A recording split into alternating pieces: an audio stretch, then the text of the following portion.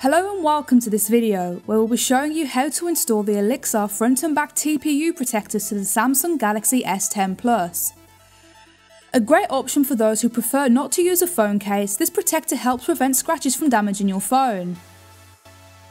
Before we begin, take a moment to remove your phone from its case and place it onto a clean flat work area. As this is a two-part installation, it's important to focus on one protector at a time I recommend installing the screen protector first as you can then be sure the screen is protected when you install the back protector. Start by using the provided cleaning wipe to give the screen a thorough wipe down. Next, use the microfiber cloth to dry the screen, before using the dust removal stickers to lift away any remaining dust and lint.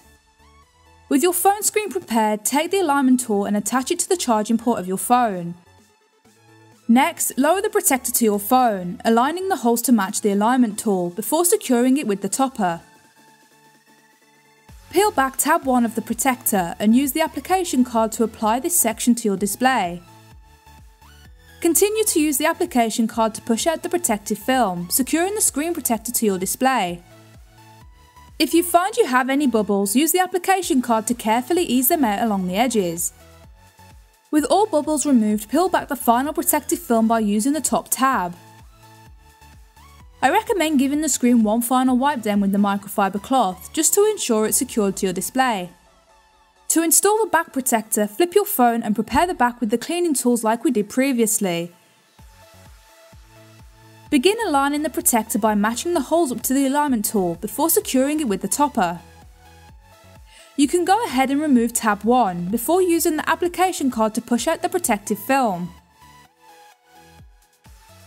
Next, use the application card to remove any bubbles and to secure the adhesive to your phone. With this complete, go ahead and remove the top protective film before giving it one final wipe down with the microfiber cloth. Once this is complete, you'll have well applied protectors that protect your S10 while not affecting its functionality. With perfect touch precision, you can use your latest handset just like before, so sending texts and browsing social media can be done with no issues. Samsung's latest in-display fingerprint reader works flawlessly with this protector, unlocking the phone every time.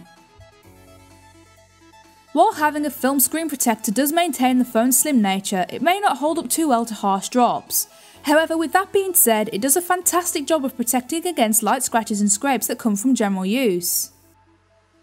One advantage of the almost invisible design is its case compatibility. Should you want to further protect your handset, you can use any case without lifting the protector's edges. I've found in a lot of cases this style of protector has a noticeable touch. However, as the Olixar film screen protector replicates the feel of the screen, you're able to have the best smartphone experience.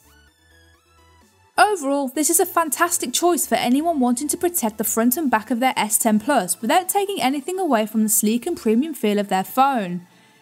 The installation was very simple, meaning you can be good to go in a couple of moments. That's all we have for this video. I hope you found our application tutorial useful. If you'd like more information or to purchase Olixar's front and back protector, I'll be leaving links in the description and comments of this video.